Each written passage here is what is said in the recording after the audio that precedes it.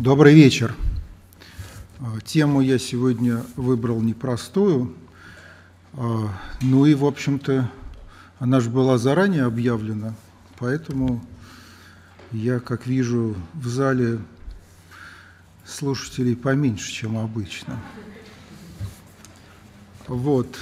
Ну, правда же, ни о каких художественных практиках, ни о каких модных философских концепциях сегодня разговора не будет, а разговор будет, ну, о такой, в общем-то, ну, совсем странной, а может быть даже страшной теме. О такой, как память поколений и личная ответственность за коллективные преступления. Но звучит как-то жестко, ну и, в общем-то, наверное, не обязательно это слушать. Это же как бы личная проблема каждого.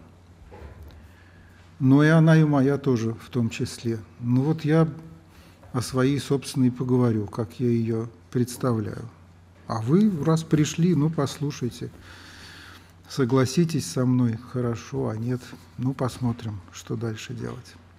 Вот, я также хотел бы предупредить о том, что обычно же я как-то соединяю тему лекции этого года с соответствующей лекцией прошлого года. Но тема покаяния тоже в одной из лекций звучала.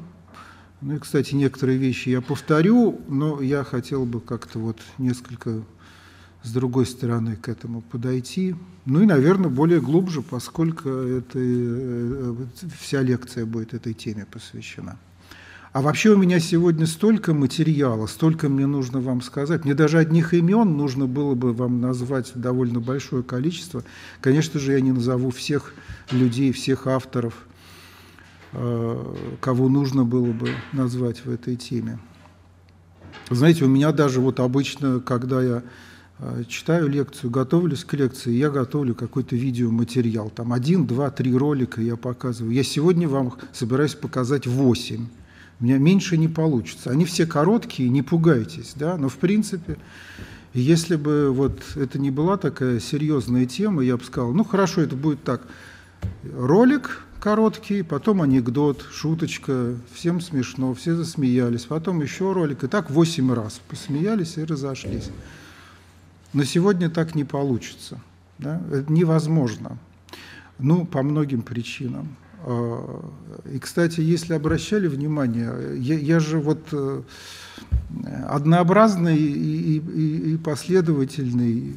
Форма моих лекций, ну, такая вот, как, знаете, как Пономарь в церкви, да, как заведет свою песню, да, у него же все одинаковое. И так и я вот что-то там расскажу, что-нибудь серьезное, потом потом посмешнее что-то будет, потом видеосюжет, а в конце я обязательно произнесу такую фразу. А теперь, чтобы не так страшно было, то, что я вам сегодня рассказал, я сейчас вам покажу такое смешное-смешное что-нибудь, и показываю какое-нибудь вот видео или картинку, все смеются, все довольны, и наступил аристотелевский катарсис. Все счастливы. Сегодня так не получится, потому что если я после всего произнесенного начну шутки шутить, то, ну, я не знаю, там реакция может быть совершенно неоднозначная. Да я как-то и, и не смогу, да. Вот. А будет ли другая эмоциональная реакция после моих слов, я, я не знаю. Вообще я также хочу предупредить, что это не просто там, 12 плюс 18 плюс. Да? Э, это, это, это так плюс, что дальше некуда. Да? Вот э, мне 61 год, и я чувствую, что я, я еще не очень готов к тому, чтобы в полной мере оценить эти проблемы. Может быть, и мне рано еще. Да? Так что, пожалуйста, я, я вас э, предупреждаю вот так. Ну, а, а вот эти вот шутки, которые обычны для моих лекций, я, давайте я с одной из них начну, да, чтобы вот как-то, повторяю, что она, она есть такая шутка, но в конце лекции она будет неуместна. Это, это запись в дневнике школьника – не явился на митинг памяти погибших, сказал, что он их не убивал.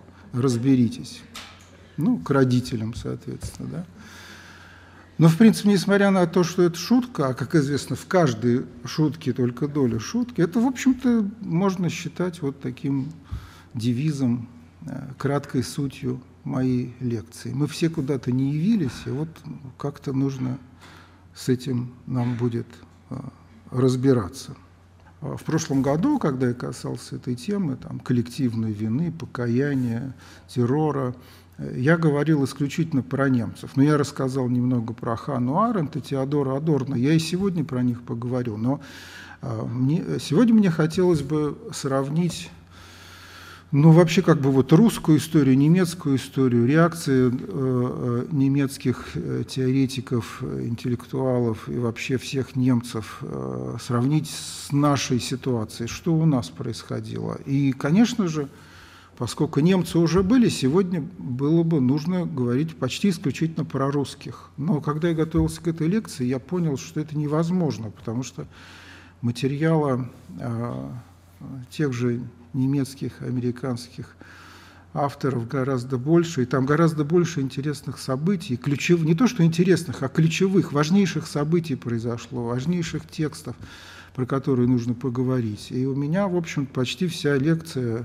будет, э, опять-таки, посвящена там, вот немецким и американским авторам.